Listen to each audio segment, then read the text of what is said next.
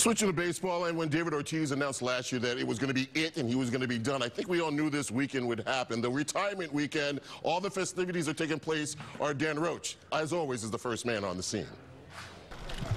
Yeah. David Ortiz Drive is now a cherished part of our neighborhood. On Thursday, a new street, David Ortiz Drive dedicated to number 34 on a spectacular day outside Fenway in the city of Boston.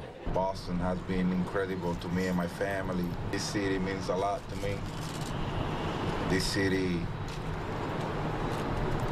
had got me to where I am. Ortiz spent 14 years in a Red Sox uniform, helping his Red Sox win three World Series titles. But what Ortiz has meant to Boston is way beyond that. Big Papi, this naming the street isn't about your performance on the field. What this is about naming your performance off the field. The most important player in the history of the Red Sox for what he did on the field with the three World Series championships and for what he did off the field. To me, doing what I did on the field was important, but dealing with the community is even more.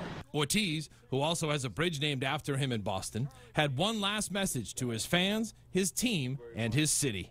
I love you guys. Next, Ortiz will have his number 34 retired tomorrow night at Fenway Park, and the final honor could come as soon as 2022, when he'll be eligible for the Baseball Hall of Fame. I'm Dan Roche, WBZ Sports.